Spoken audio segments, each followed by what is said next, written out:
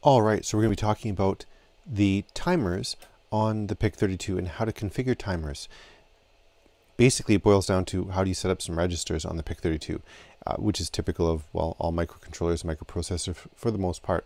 Um, I'm going to point out that uh, a lot of the information that's um, discussed in here is from the data sheet on the timer, and you can find it at this web address or that bit.ly uh, short form link right there.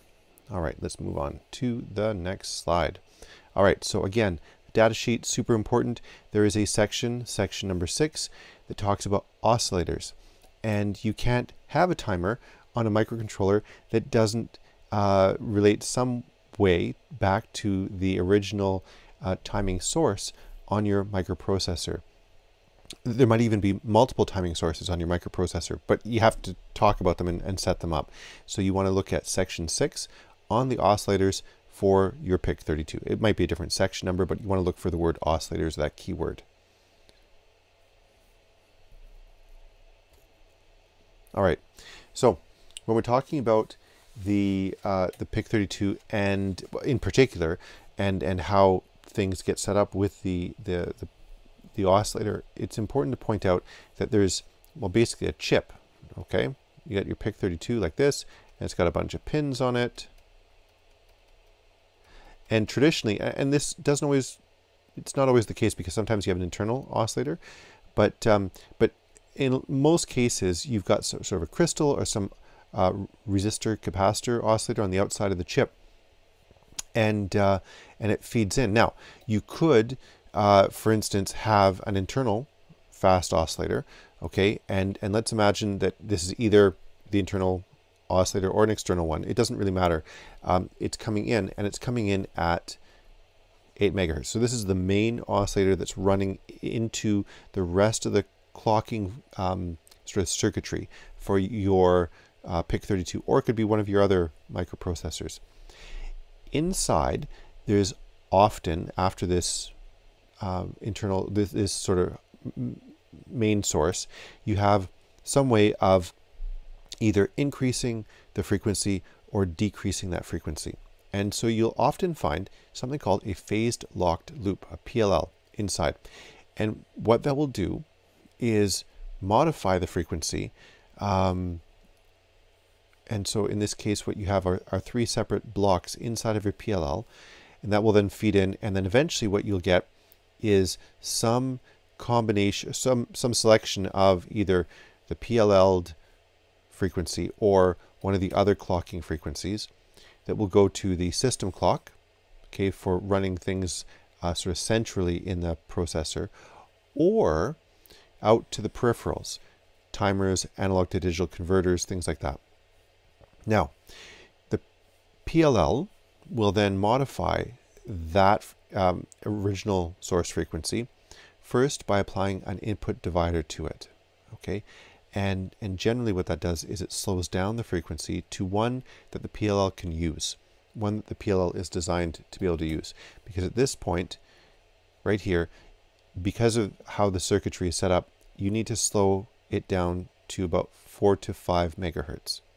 So no, no matter what that in, input is here, you need to get to between 4 and 5. Now, if you've got 8, that means dividing by 2 to get down to 4 megahertz. Then you can multiply it up and then you can divide once again by an output divider to get some frequency at some rate that you want to be able to, to run things at. Uh, generally, uh, this sort of combination can get you up to, in the PIC32 MX series, up to a system clock of 80 megahertz. Now, you might not want to run that fast because it takes a lot of energy, but you could get up to 80 megahertz, which is, say, faster than the Atmega 328 if that was important to you. All right, what else do we have? Well, uh, we need to talk about some something that you'll see in the source code. You'll see these sort of configuration um, pragmas, these um, preprocessor defined values that get um, incorporated by the compiler into how the chip gets configured, set up. In terms of, for instance, the PLL. So you'll see here there's an input divider, a multiplier, and then an output divider. Okay, so here you you can set your multiplier value to 16. You can set your input divider, idiv, to divide by 4. Okay, and you can get your uh, O divider to divide by 8, for instance. Okay, and there are different constants that can be applied.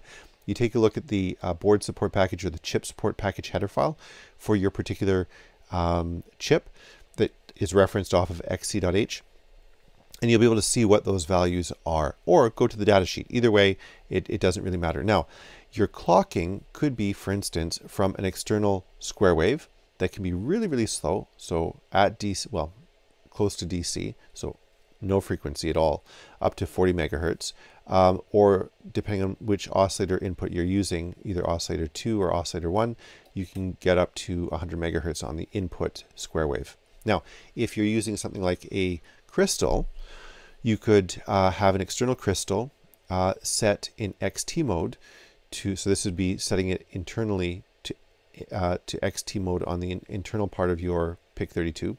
It would need a crystal at 3 to two, 10 megahertz, or if you're set to HS uh, or high speed, then you would be uh, setting between 10 and 25 megahertz on that crystal. Okay, and many of the crystals that you'll find on microcontrollers in the four, sort of two, one to two or eight megahertz range. All right, so you can have these different crystals being fed in. A symbol for crystal is found right there. All right.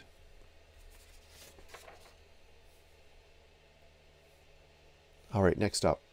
So to reiterate what this might look like, we're using special function registers to configure the system and the peripheral clocks. See, there's a different things.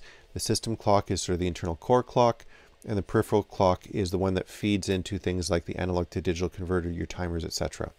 So outside of the chip, you would have, say, for instance, a, an 8 megahertz crystal. They look like little uh, metal cans. They're about the size of your pinky fingernail sometimes, um, or they might look like um, um, a little the end of a, an eraser, for instance, but as a metal can. You run the 8 megahertz into the input divider of your PLL. So you'll take your 8 megahertz divided by 2. That gives you, running into the PLL multiplier, 4 megahertz.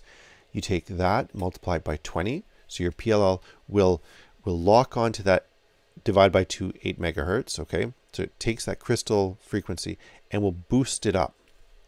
And you could take that 4 megahertz, multiply by 20, and now you're ready to deliver 8 megahertz into the system clock, for instance.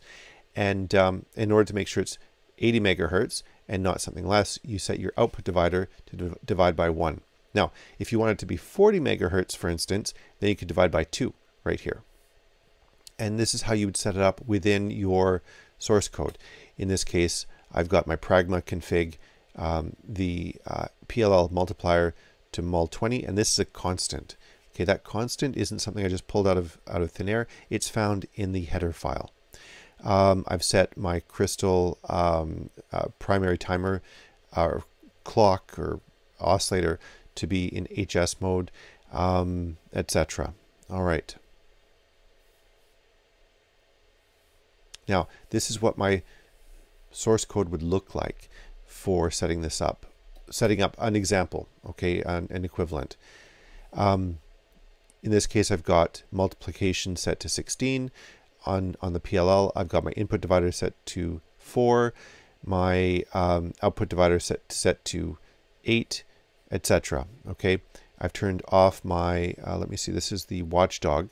The watchdog is a security feature that um, makes sure that if things have gone sort of unstable, it reboots the, uh, the chip.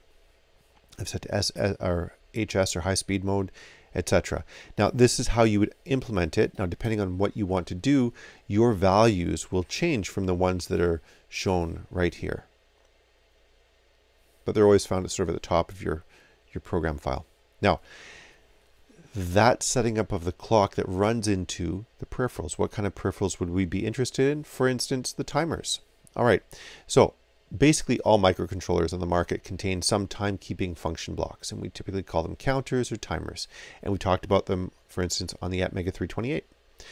Um, they generally run off things that are called a uh, they're called peripheral bus clocks. And those are basically separate from the system clock because your system is running at one particular frequency and you may want to run your uh, timers, your analog to digital converters at a different frequency than that to save power. Uh, maybe if you're doing communication, you might have to hit a particular baud rate. And so you have to switch your main peripheral clock to be able to achieve that, for instance. The timers run semi-autonomously, just like you saw on previous microcontrollers. And, and generally, when they overflow, they can send a warning, an alarm. Like, for instance, if you wanted to set up uh, interrupt service routines, which is a very common thing that you would want to do. Here's an example. After you've set up all your oscillators before, here's an example of configuring timer 2 on the PIC32. So I've got a period register in this case, I'm looking at configuring timer number two. So I want to access PR2, so period register for timer number two, and I set it to a particular value based on uh, what's in the data sheet and what I'm trying to achieve. And then I can set up my configuration in the configuration register T2con. And here's a bit pattern that I'm sending into it. And what I've said basically in here, um, well, anyway, you can you can sort of read it, but there's some pre-scaling going on, etc. I've set uh, bit 15 right here to 1, so the timer's turned on. And I've got a prescale inside of my timer, and I've set it to, in this case, I'm saying um, a factor of 256. And that's uh, these three bits right there. All right, now, uh, last thing we're going to do uh, before moving on to the next video, more on timers, is to talk about byte and bit addressing. Now, when you're dealing with microcontrollers and microprocessors at a uh, an assembler level, accessing particular bits is often really easy. Well, it's easy compared to how it would be in normal C. Generally in C, what you have to do is set up all of the values for a particular register uh, all in one go. That's often how it's done, unless the microprocessor manufacturer has designed in particular ways of getting around that particular weakness in the C programming language okay, where there's no natural way, no inherent way uh, inside of the, uh, the C language to access a particular bit. So there's workarounds for that. Now, generally this is how you do it. So this would be latch for port F. I'm setting um, all of these bits right here. It looks like 16 bits right here using either a hex value or a, a binary value. And we're setting to 0 or 1 each of these bits in the register. So you would you would look inside of your header file that's linked to from xc.h to find out what your uh, particular registers are called and how big they are and, and, and that sort of thing. Now,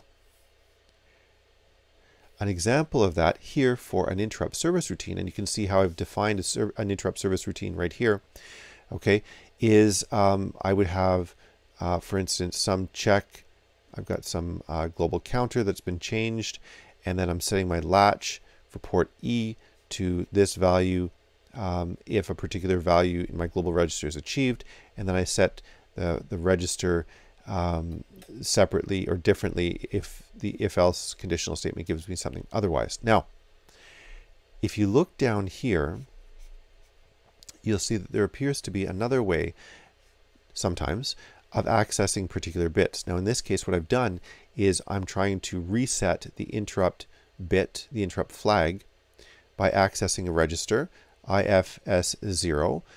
There's a structure associated with it called IFS0 zero or IFS zero bits that's defined in the header file, and and there's a bit called T2IF that's accessed in the sort of the structure, and um, and that gives you a hint as to what we can also do in terms of bit accessing in C. And you can see that um, for the PIC32, this is one way of doing it.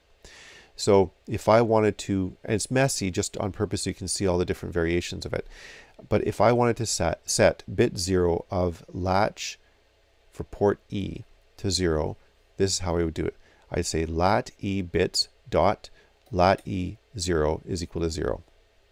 Or if I wanted to set uh, bit 3 in latch E to 1, I would say lat E bits dot period lat E3 is equal to 1. So this is another way of doing it. It's a convenient way of, of setting up particular bits using the header files definitions in uh, MPLAB X. All right, so accessing registers using um, uh, full sort of numbers um, 16, 32 bits, etc., or going in a little bit more surgically and saying, I want to affect one particular um, bit in here using structures that are defined within the header file.